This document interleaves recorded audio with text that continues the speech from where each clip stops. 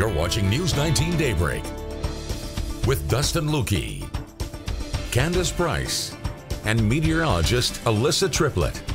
Daybreak continues right now. Good morning and welcome back. Well, like so many events this year, the Chaseburg Sole Burner will see a modified format, but it's going ahead on Saturday, September 19th. And Linda DeGarmo is here with me once again, virtually, of course, to talk about this milestone year, 15th anniversary, Linda. Yes, 15 years already. Well, thanks for being with us to share some of the details. So, modified format can't do things the way we normally do, but it still sounds like it's going to be a pretty robust event. I we're sure hoping that it will be, and and I looked ahead at um, your Channel 19 weather forecast, and it looks like 67 and sunny. So I'm holding you to that. Okay. Well, we'll we'll do our best to to keep that forecast updated throughout the week as we go forward. It is coming up on Saturday. Can you give us a little rundown of what the schedule looks like?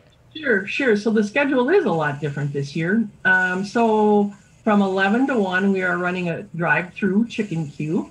Um, so if people would like chicken, they sh- you know they can certainly contact me. We can get you on the list.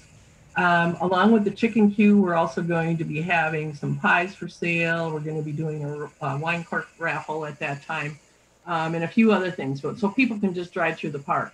And then at one o'clock, we are going to kind of block off the traffic coming through the park so that we're going this year we're only going to have one entrance into our sole burner and at that entrance, you will be given a um, uh, bandana that is going to mm-hmm. be mandatory. So we're asking masks to be mandatory. There'll be a temperature check there, and the wonderful Golden Sisters will be greeting everyone that comes in.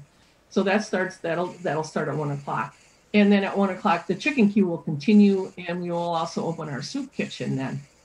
So other things that are different this year, we've usually had a lot of kids games and bounce house and all that, which was very popular, but can't do that this yeah. year. So uh, there won't be any kids games.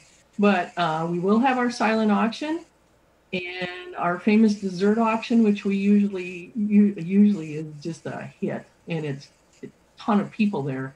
Um, is also going to be silent this year. So just come down, bring your wallets, and uh, be ready to bid on some wonderful looking, wonderful looking things.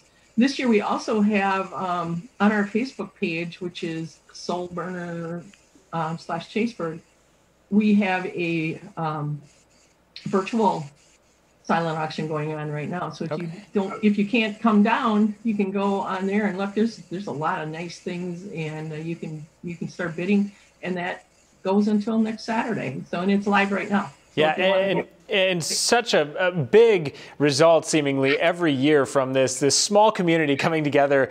Uh, Linda, can you speak to the, the, the impact that this event has?